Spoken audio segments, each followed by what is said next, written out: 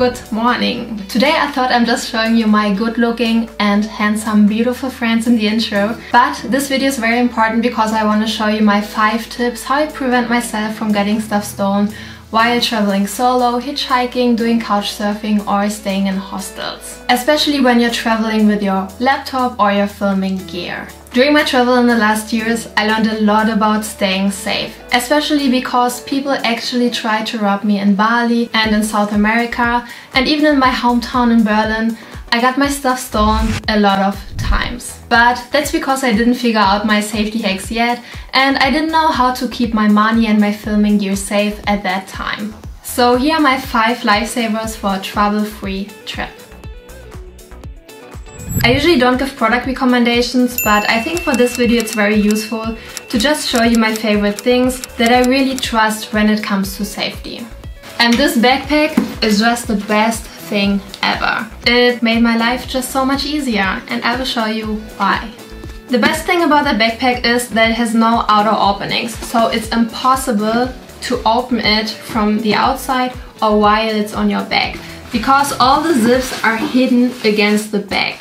It's waterproof and it has enough space to fit my laptop and my camera gear. I know that it's impossible to open it while it's on my back and nobody has access to my stuff that is inside there. So I really know even when it's raining, when I'm in a crowded place, when I'm in a rush or whatever, I don't need to worry about anybody trying to open my backpack.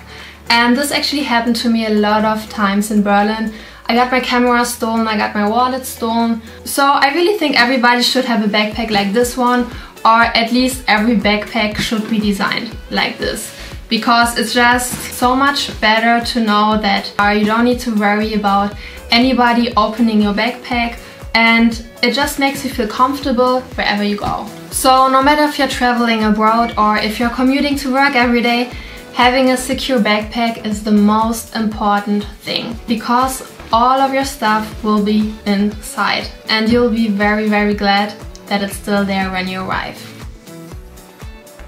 Another thing that I always use when I'm traveling is a belt bag. But not a big one. It's important that it's small and not visible to other people while you are wearing it. So you can hide it under your t-shirt or even under a dress or when you want to go out like nobody will actually see it. There I'm hiding my credit cards, some money, my keys or whatever is important to me and I really just use it for the most important things. The most secure place is our body and we should always make use of it. When I'm sleeping outside or on a train it also has space to fit my phone in there. And this belt bag makes me really feel relaxed while sleeping in a public space and makes me feel comfortable at all times while I'm wearing it. So if you don't have a belt bag yet, get one. I learned the importance of locking up my stuff just on my recent trip. Not only ask a lot of hostels for a separate lock, but some of them also charge a fee if you want to rent one. The locks you get in hostels are also not necessarily that secure and can be easily opened by thieves. So that's why I usually carry a simple but secure lock with me, so that I know that I can always lock up my stuff while I'm staying in a hostel or wherever I am. It's also useful to not only lock up your stuff, but also doors, your backpack, your drones, or even your Pacsafes. So whatever you have with you, you know that you somehow can lock up your stuff if it's really necessary. There are a thousand different kind of locks available on the market out there, but I think choosing one that is not too heavy and not too simple to open is a really good choice to carry around while you're traveling and carrying it around won't feel like a waste of weight. I know that people who really want to open a lock will be able to open the lock. So always keep that in mind, but also don't be too overprotective. You still want to enjoy your trip. And I think just having a lock with you makes things so much secure because most of the thieves usually don't plan to steal your stuff. It mostly just happens randomly by strangers who see that your stuff is not secure and they just grab it and run away. So a lock will definitely prevent people from touching your stuff. Everybody should carry a dummy wallet for mainly two reasons. First, it's never a good idea to keep all your cash in one place. So having a second wallet makes really sense if you just keep a small amount of cash in there. So whenever you need change, you know that you have this wallet and small notes are available.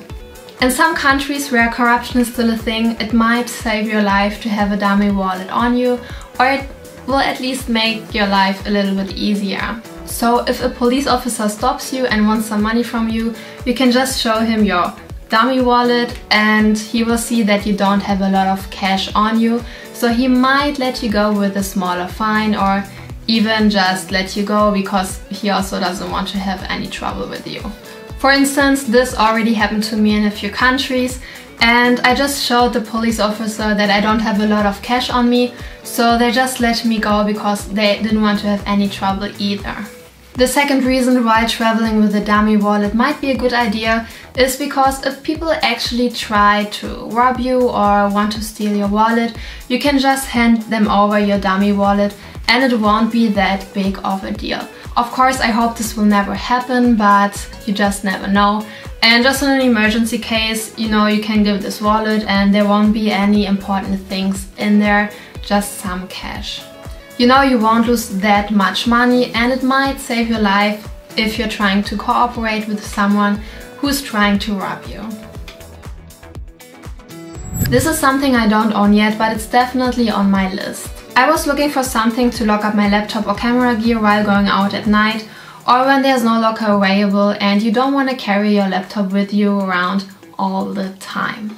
The idea is to have a small bag that is as secure as a safe. So I stumbled upon this website and I read really really good recommendations about their products. So what's definitely on my list is a travel safe, which is basically a portable safe, but just doesn't look like one.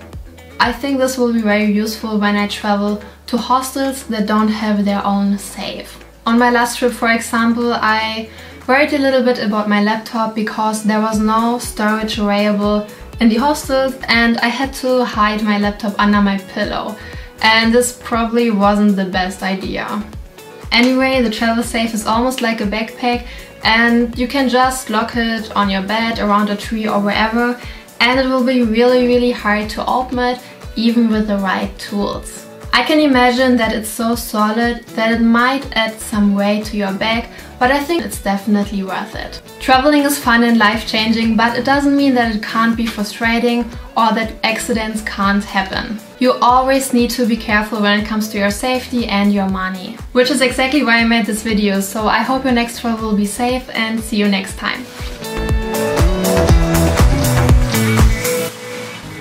This beach was our own paradise of freedom. No phone signal, just a few travelers, a bonfire, and the ocean. This was a day of appreciation for our lives and the people who are part of it. We should all allow ourselves to feel a little free. Follow your dreams.